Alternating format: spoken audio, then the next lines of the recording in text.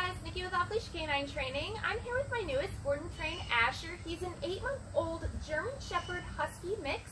He's here for his basic obedience. Um, he's pretty much showing all the typical puppy behaviors. I personally witnessed him eating multiple things out of the garbage while I was there, to the point of even swallowing them, not giving them up. Jumping on people, he's jumping on counters, he ran away. Um, he definitely has that selective hearing, just ridiculously hyperactive and crazy when he wants to be. So we'll be working on all that over the next two weeks. Let me show you what he knows so far. Asher, come. Asher, come. Asher, come. Good boy. Asher, sit. Good, good sit. Down. Asher, down. Down. Asher, down. Place. Asher, place. Place. Asher, place. Asher, come. Come. Asher, come. Good boy. Good come. So as you can see, he may know a couple of the basic commands. It definitely seems like selective hearing. Uh, he definitely only hears it when he wants to. Uh, he, like I said, he's jumping on the counters. He's jumping on people. He's eating things. He shouldn't be pretty much anything he can get his teeth on at this point. Um, and he's pulling like crazy on the leash. So we'll be working on all that, reeling in the energy, getting the stability of staying in the commands, and I look forward to giving updates in between.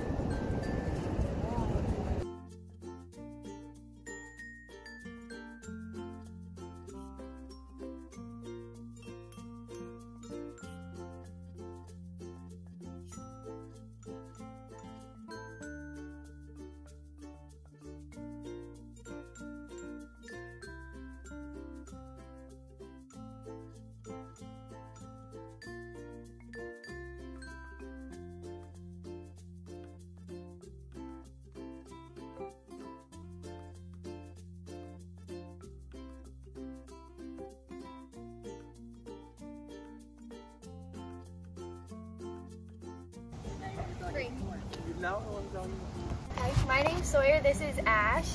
Um, I'm so pleased with the results. Um, he was awful before training. He jumped on counters, opened doors, chewed everything, and now he listens to everything I say. He can lay in a spot for more than five seconds, and I think the training was a complete success.